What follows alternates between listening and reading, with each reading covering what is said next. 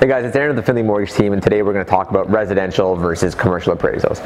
Your residential appraisal is going to be your cheapest. We're looking at four to six hundred dollars depending on how quickly you need to get it done and where the property is located. In terms of time to complete the appraisal, we're looking at about two weeks. That's going to give the appraiser time to get, you know, schedule an appointment, get out there, uh, do their inspection, write the report up and get it back to us.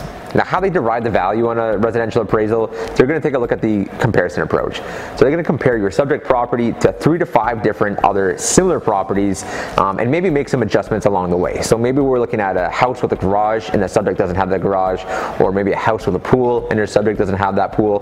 They're going to take those uh, additional features and adjust the price of the house accordingly and then compare those to your subject purchase and create your final value from there. Now on the commercial side, there's actually a few different components to it. First, the cost is much greater. So we're looking at anywhere from like 1200 bucks to $2,000, maybe even a little bit more depending on the size of the property and the scope of the appraisal.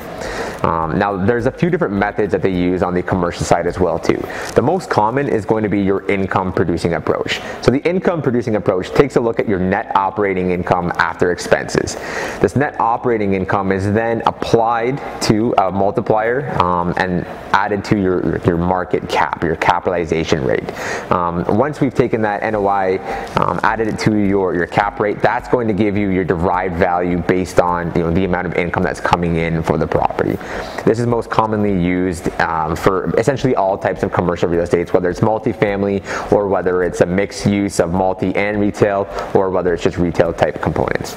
Now another type of appraisal that can be used is your comparison approach. They still do use a comparison approach on the commercial side um, and sometimes it is factored into the final value even when you know maybe mixing it in together with the income producing approach. So you know just like the residential uh, side, the comparison on the on the commercial side takes a look at your building and it's compared to other similar buildings with some adjustments being made. And I find that often they will weigh um, this value in compare like in addition to the income producing approach and um, have it factored slightly with that. So maybe they have it 80% towards the income producing approach with that 20% being on the comparison um, approach. Now when we're doing commercial appraisals, the appraiser is going to need a few documents from you. So you're going to want to take a look at the rent roll, the income expense report, um, and maybe have an understanding of any updates or modifications that have been done to the building. Again, these are all going to be taken into consideration when the appraiser is putting together that final valuation. Now, one other thing to keep in mind with the commercial appraisal is the timeline. Um, we're looking probably around three weeks in most circumstances. Um, this just has to do with how busy the market is on the multi-unit side and that, that commercial side as well too. Um, but also just the uh, amount of time it takes to going into the, creating that appraisal. Um, unlike a residential where it's just done on a standard form, the commercial is actually done on a full narrative. So you're gonna get a much lengthier uh, approach to writing up that report. There's gonna be a lot more details and uh, you know uh, economy factors are gonna be taken into consideration and talked about in this approach. So when you're looking at doing your financing on a, um, on a commercial building, keep in mind that the appraisal is going to take approximately three weeks um, and you are gonna have to give yourself a little bit more time when putting together that financing condition. Now like every appraisal, uh, even on the commercial side, every appraiser is slightly different and they will use different market factors.